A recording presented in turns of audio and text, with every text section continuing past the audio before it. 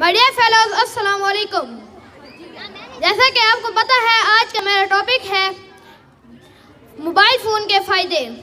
Mobile phone बहुत एक अच्छी ईजाद है। मोबाइल फ़ोन के बेशुमार फ़ायदे हैं। पहले ऐसा होता था कि एक बात को दूसरी जगह पहुँचाने में कितने हफ़्ते लग जाते थे, हफ़्ते, महीने लग जाते थे। अब एक बात को दूसरी जगह पहुँचाने में एक मिनट लगता है। एक दूसरे से फेस टू फेस हम मोबाइल फ़ोन के ज़रिए बात भी कर सकते हैं। मोबाइल फ़ोन जो पिछले साल कोरोना आया था उसमें हमारी तालीम का बहुत नुकसान हुआ था। जिस और इस मोबाइल ने हमें बहुत फ़ायदा दिया और हमें ए, अपने पढ़ाई में मदद फर, मदद फ्राम की। थैंक्स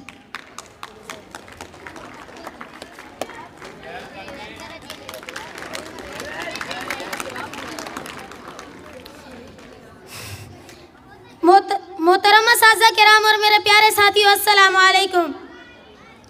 जैसा कि मेरे भाइयों ने कहा कि मोबाइल फ़ोन के इतने फ़ायदे हैं कि पहले पहले ज़माने में महीने, साल और हफ़्ते लग जाते थे एक पैगाम को पहुँचाने में। लेकिन अब एक मिनट लगता है या फिर सेकंड लग जाता है। तो मैं इनसे पूछता हूँ कि क्या आप एक दूसरे को देखने के लिए इतने अंधे हो चुके हैं कि आप अपने आप को अंधे कर बैठे क्या आपको नहीं पता कि मोबाइल फ़ोन से वो खतरनाक शुआएँ जो निकलती है वो आपकी आँखों को खराब कर सकती है आपकी कानों को खतरनाक आपके कानों को खराब कर सकती है और सबसे बढ़कर आपके जहन को मुतासर कर सकती है। क्या आप दूसरे को देखने के लिए इतने पुरजोश हो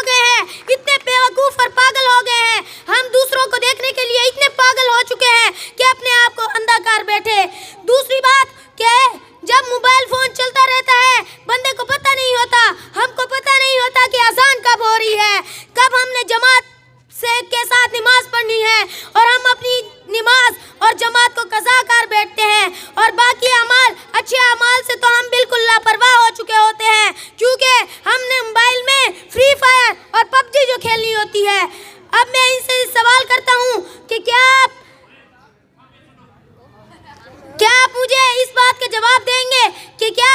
मोबाइल फ़ोन की जो ख़तरनाक शुआएँ होती हैं, वो आपकी आँखों और कानों को मुतासर नहीं करती। क्या वो आपके जहन को मुतासर नहीं करती? और फिर हम एफ़ ग्रेड लेकर सर झुकाए खड़े हो जाते हैं। शुक्रिया।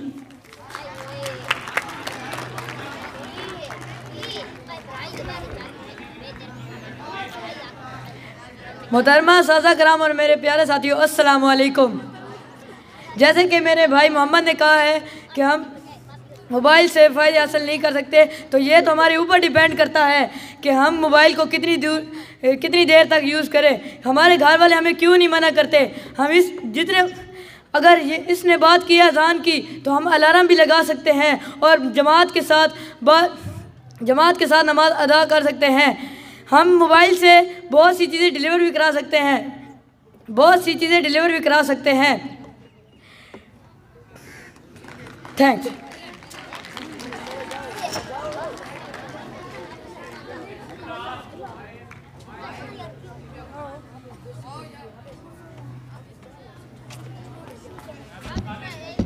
मोहतरम साजा कराम और मेरे दोस्तों, अस्सलाम वालेकुम जैसे मेरे भाई ने कहा है कि हम अलार्म लगा सकते हैं तो आप क्यों नहीं लगाते हैं? आप हर वक्त पबजी और फ्री फायर क्यों खेलते हैं? आप नमाज़ भी पढ़ सकते हैं। आप मस्जिद में देखें तो मस्जिद जमात से खाली पड़ी होती है।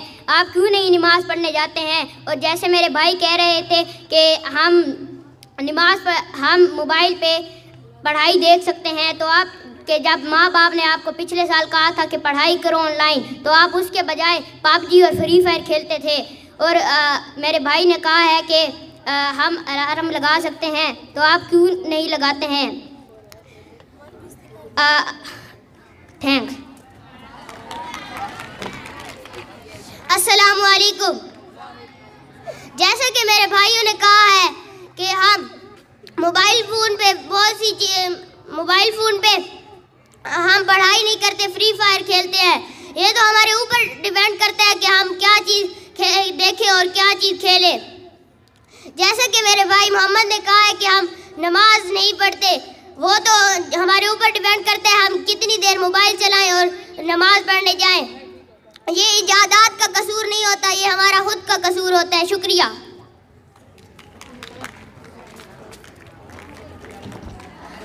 मेरे प्यारे साथियों वालेकुम जैसे कि मेरे भाई अब्दुल्ला ने कहा है कि हर चीज़ हम पर डिपेंड करती है। अगर आप पे डिपेंड करती है तो आप पबजी क्यों खेलते हैं? आप स्कूल में जब आपको लेक्चर दिया जाता है तो आप उधर लेक्चर क्यों नहीं सुनते? आप घर जाके मोबाइलों पे वो सर्च कर लेते हैं। जब आप स्कूल से ही नहीं पढ़ के जाते तो आप घर जाके क्या पढ़ते हैं? मैं इनसे सवाल करता हूँ कि आप अगर घर जाके पढ़ते हैं तो आप एफ़ ग्रेड क्यों लेते हैं? शुक्रिया।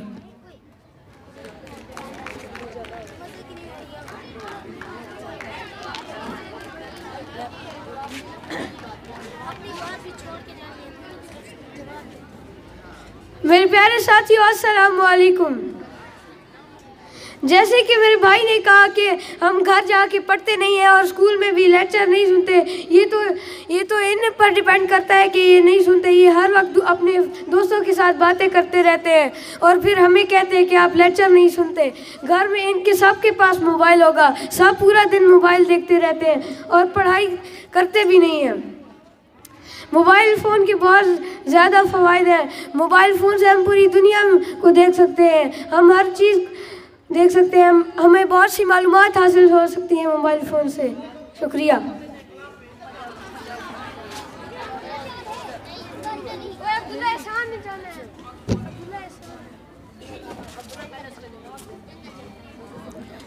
अस्सलाम वालेकुम मेरे प्यारे भाइयों और साथियों।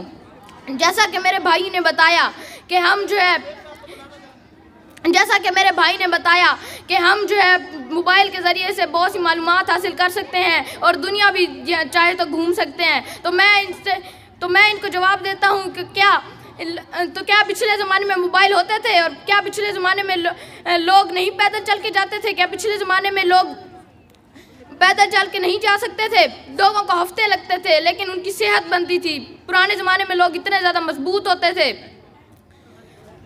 अब मोबाइल जो है, अब मोबाइल जब से मोबाइल आया है, ये एक ये एक ऐसा आला बन गया है जो जो बम ब्लास्ट में इस्तेमाल होता है, जो डाकू जैसे बम ब्लास्ट में इस्तेमाल करते हैं। पुराने ज़माने में लोग जब तालीम हासिल करके घर वापस आते थे तो वो अपने स्कूल की बात बताते थे कि हमने आज स्कूल में ये ये हासिल किया ये ये जाना, और सब कुछ सब कुछ सबके साथ समझाते थे। और अपने वालदेन के साथ बैठ कर वक्त गुजारते थे और अब लोग हर वक्त अपने मोबाइल में मसरूफ़ रहते हैं। फेसबुक इंटरनेट और ट्विटर जैसी ऐप्स ने इतना लोगों को मसरूफ़ कर दिया है कि उनके पास वालदेन के पास वालदेन को देने के लिए वक्त ही नहीं है।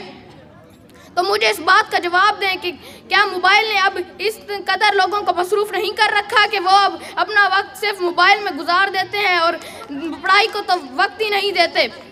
शुक्रिया। मेरे दोस्तों, मैं इनसे एक सवाल करता हूँ कि ये जो सारी तकरीरें लिख के आए हैं, सब इन्होंने मोबाइल से ही देख के लिखी हैं। अगर इनको इतना ही नुकसान होता है तो ये अपने मोबाइल बाहर क्यों नहीं फेंकते? घर में बैठ के क्यों ये देख रहे हैं? जहाँ फेसबुक ये खुद चलाते हैं पबजी खुद खेलते हैं, और ये बाहर क्यों नहीं फेंकते मोबाइल को?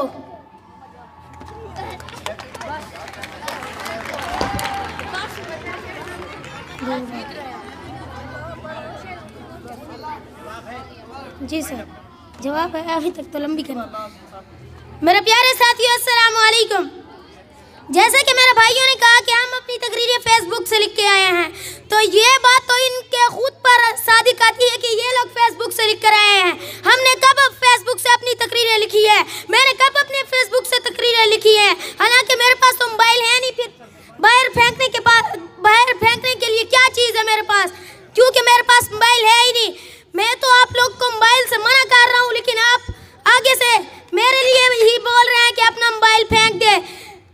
हज़रत मोहम्मद सल्लल्लाहु अलैहि वसल्लम ने एक मरतबा फरमाया कि आखिरी ज़माने में लोगों पर फितने ऐसे आएँगे तो जो अच्छे लोग होंगे, अगर उन्होंने उन फितने वाले लोगों को मना ना किया तो वो भी उन फितनों में ही गिर जाएँगे।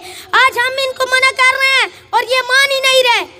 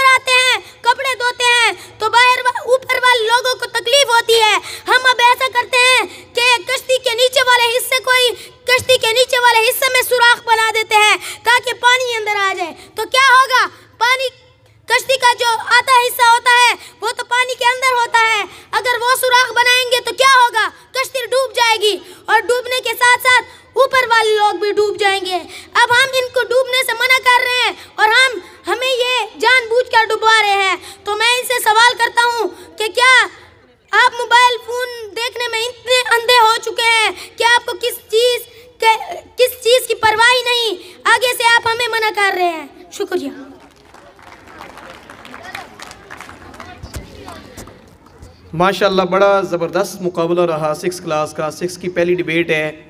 तो सिक्स क्लास के लिए एक दफ़ा ज़ोरदार क्लैपिंग करें भाई।